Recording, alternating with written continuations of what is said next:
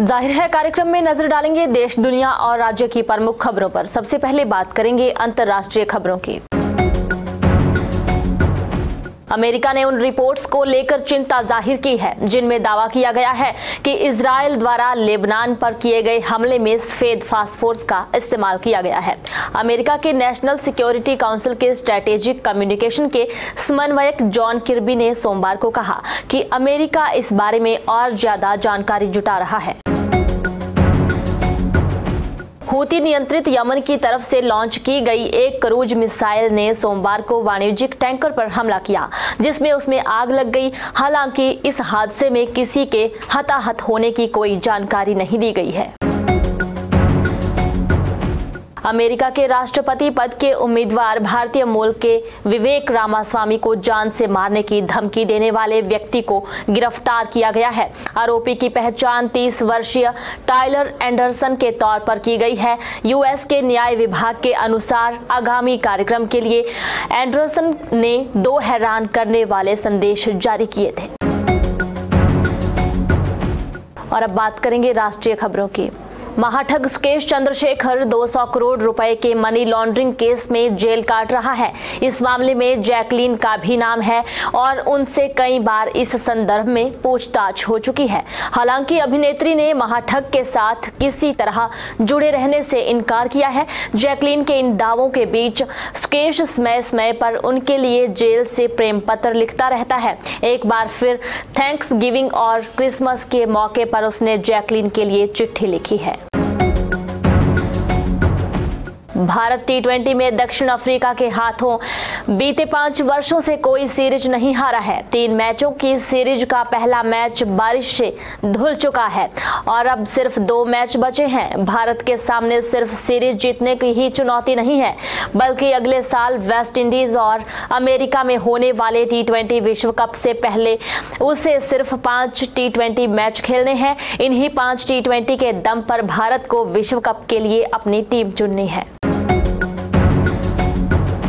Cricket जगत में विराट कोहली नाम किसी परिचय का मोहताज नहीं है। सर्च इंजन गूगल ने अपने पूरे 25 साल के इतिहास में सबसे ज़्यादा सर्च किए जाने वाले विषयों की सूची जारी की है। इनमें क्रिकेटरों में कोहली का नाम सबसे ऊपर है। बात करेंगे प्रदेश की अहम खबरों की।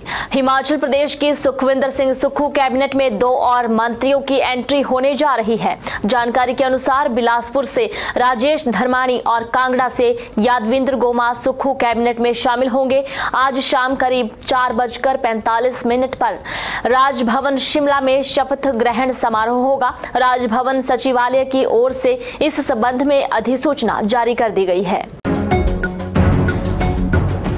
हिमाचल प्रदेश के कुछ भागों में पश्चिमी विक्षोभ की सक्रियता से मौसम ने सप्ताह बाद फिर से करवट बदली है। राज्य के कुल्लू और लाहौल घाटी में सोमवार देर रात से लेकर सुबह नौ बजे तक मौसम खराब रहा। रोहतांग के साथ Baralacha, seven sister peak, Hanuman Tibba सहित ऊँची चोटियों में ताज़ा बर्फबारी हुई है। प्लानिंग एरिया शिमला और नगर निगम की परिधि में तीन और चार मंजिला भवन मालिकों को एटिक को रिहायशी बनाने का फ़ायदा जल्द मिल सकता है। अभी सरकार ने अढ़ाई मंजिला तक एटिक की ऊंचाई बढ़ाने की अनुमति दी है। टीसीपी ने इस पर निर्णय लेने के लिए प्रदेश सरकार से अनुमति मांगी है। बात करेंगे समाचार पत्र की। जम्मू कश्मीर से आर्टिकल 370 हटाने का केंद्र सरकार का फैसला बरकरार रहेगा। सुप्रीम कोर्ट की पाँच जजों की पीठ ने सोमवार को कहा कि आर्टिकल 370 अस्थायी प्रावधान था। धर्मशाला में कांग्रेस सरकार के साल पूरा होने पर हुई रैली में सीएम सुक्खू ने समाज के कमज़ोर और बेसहारा वर्गों के लिए एक नई घोषणा की है।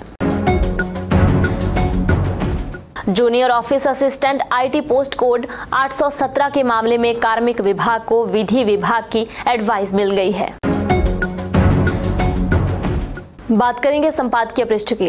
अंततः एक साल की सरकार ने अपनी उपलब्धियाँ ज़मीन पर सत्ता हस्तांतरण की प्रासंगिकता साबित करने की हर संभव कोशिश कर दी। इस लेख को आप जश्न की गारंटी शीर्षक के साथ संपादकीय पृष्ठ पर पढ़ सकते हैं। इसके अलावा पाँच राज्यों में चुनाव नतीजे के निहितार्थ कुमार प्रशांत का लेख भी यहाँ छपा है।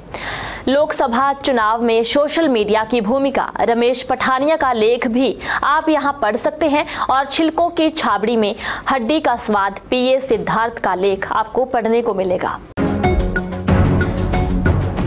बात करेंगे रोज़गार से जुड़ी कुछ जानकारी की।